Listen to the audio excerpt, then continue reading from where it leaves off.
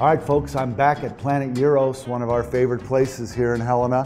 You guys are always up to something new. You we try. This is our cashew chicken salad. Comes with a really tangy Midas sauce on the side with our homemade tzatziki sauce and our original gyro. With feta cheese on it, it's our most popular sandwich.